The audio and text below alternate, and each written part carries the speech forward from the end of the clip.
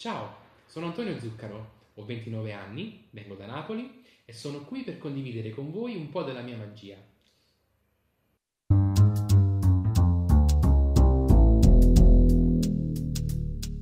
Un po' di tempo fa ero su internet e leggevo un articolo su una tecnica da baro nota come shuffle tracking. Che cos'è?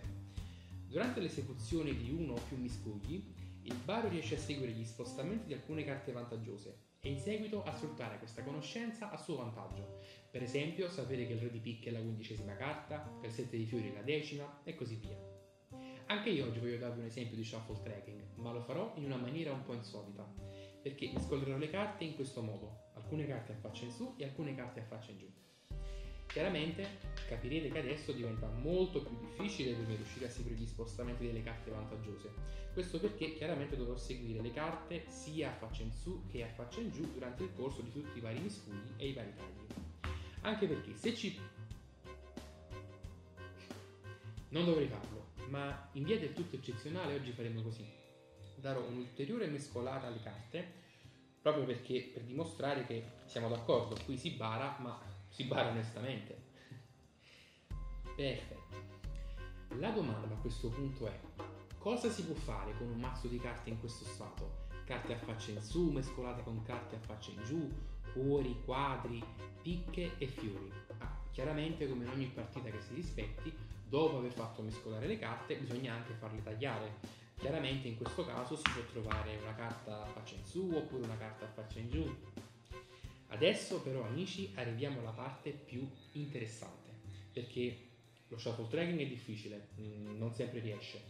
Però mettiamo caso che io fossi veramente riuscito a seguire gli spostamenti di alcune carte buone durante tutti quei tagli e quei miscugli. Se non sbaglio, a questo punto la prima carta buona, la prima carta vantaggiosa dovrebbe essere esattamente la ventesima dalla cima. Quindi se io riuscissi a tagliare esattamente alla ventesima carta, sì, ventesima, dovremmo trovare un asso, esattamente l'asso di cuore. Eh? Che coincidenza! Se riuscissi a tagliare leggermente più in basso, invece dovremmo trovare il secondo asso, l'asso di fiori,